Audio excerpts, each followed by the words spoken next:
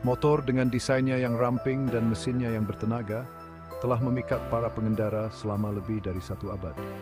Di jantung setiap motor terdapat mesin yang bertanggung jawab untuk mengubah bahan bakar menjadi gerakan. Dan seperti jantung kita sendiri yang membutuhkan pasokan oksigen yang stabil, mesin motor memerlukan campuran bahan bakar dan udara yang tepat untuk beroperasi secara efisien. Selama beberapa dekade, karburator berfungsi sebagai penjaga gerbang campuran vital ini. Namun, seiring kemajuan teknologi, sistem baru muncul yang menjanjikan peningkatan kinerja, efisiensi, dan ramah lingkungan injeksi bahan bakar.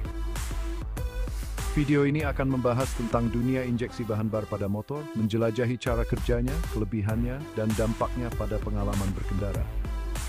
Injeksi bahan bakar merupakan lompatan maju yang signifikan dalam teknologi motor. Dengan mengontrol secara tepat bahan bakar yang dikirim ke mesin, sistem ini membuka dunia manfaat bagi pengendara. Mulai dari peningkatan tenaga dan akselerasi yang lebih mulus hingga pengurangan emisi dan peningkatan penghematan bahan bakar. Memahami prinsip-prinsip di balik injeksi bahan bakar memberdayakan pengendara untuk menghargai kecanggihan mesin mereka dan membuat keputusan yang tepat tentang perawatan dan peningkatan kinerja. Injeksi bahan bakar adalah sistem yang dikontrol secara elektronik yang mengirimkan bahan bakar langsung ke ruang bakar mesin. Tidak seperti karburator yang mengandalkan kevakuman mesin untuk menarik bahan bakar ke aliran udara, sistem injeksi bahan bakar menggunakan injektor untuk menyemprotkan jumlah bahan bakar yang tepat. Injektor ini dikontrol oleh komputer yang disebut Unit Control Mesin atau ECU. ECU mengumpulkan data dari berbagai sensor yang terletak di seluruh mesin, termasuk sensor posisi throttle, sensor tekanan absolute manifold, dan sensor oksigen. Dengan menggunakan data ini, ECU menghitung jumlah bahan bakar optimal yang dibutuhkan untuk pembakaran berdasarkan faktor-faktor seperti kecepatan mesin, beban, dan suhu. ECU kemudian menginstruksikan injektor untuk mengirimkan jumlah bahan bakar yang tepat pada waktu yang tepat. Sebelum munculnya injeksi bahan bakar, karburator berkuasa di dunia pengiriman bahan bakar motor. Perangkat mekanis ini mencampur bahan bakar dan udara berdasarkan prinsip dinamika fluida. Saat udara mengalir melalui karburator, udara melewati venturi, bagian yang menyempit yang menciptakan area bertekanan rendah.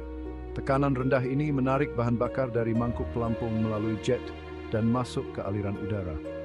Meskipun karburator bisa sederhana dan efektif, namun kurang presisi dibandingkan sistem injeksi bahan bakar.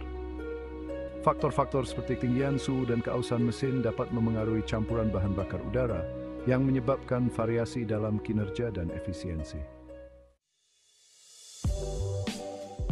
Bagian 4, efisiensi dan emisi, keunggulan jelas. Salah satu keunggulan paling signifikan dari injeksi bahan bakar adalah dampak positifnya pada efisiensi bahan bakar dan emisi. Dengan mengontrol secara tepat campuran bahan bakar udara, injeksi bahan bakar memastikan bahwa mesin selalu menerima jumlah bahan bakar yang optimal untuk pembakaran. Kontrol yang presisi ini meminimalkan pemborosan bahan bakar yang mengarah pada peningkatan penghematan bahan bakar dibandingkan dengan motor yang dilengkapi karburator. Selain itu, sistem injeksi bahan bakar memainkan peran penting dalam mengurangi emisi berbahaya. Pengukuran bahan bakar yang tepat dan proses pembakaran yang dioptimalkan menghasilkan tingkat hidrokarbon, karbon monoksida, dan nitrogen oksida yang lebih rendah yang dilepaskan ke atmosfer. Hydroenin bingom the desi birizek si bersambakolem dan yandagochim to inadvensi mingkob bar. Bagian 5, performa dan kendaraan, melepaskan potensi. Selain efisiensi dan emisi, injeksi bahan bakar secara signifikan meningkatkan performa dan pengendalian motor. Pengiriman bahan baku yang tepat dan pembakaran yang dioptimalkan menghasilkan respons throttle yang lebih baik, akselerasi yang lebih mulus, dan output tenaga yang meningkat.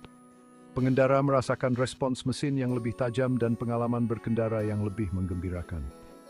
Selain itu, injeksi bahan bakar menghilangkan banyak masalah start dingin yang terkait dengan karburator. ECU dapat menyesuaikan campuran bahan bakar berdasarkan suhu mesin, memastikan start yang andal bahkan dalam kondisi cuaca dingin. Hal ini menghilangkan kebutuhan akan cok dan menyederhanakan prosedur starting.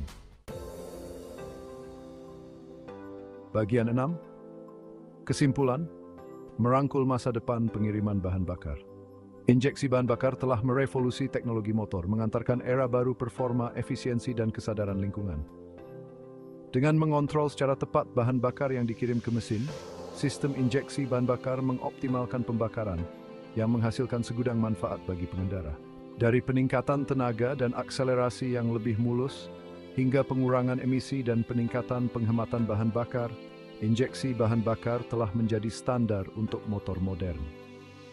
Seiring dengan terus berkembangnya teknologi, kita dapat mengharapkan sistem injeksi bahan bakar yang lebih canggih, yang semakin meningkatkan pengalaman berkendara sekaligus meminimalkan dampak kita terhadap lingkungan.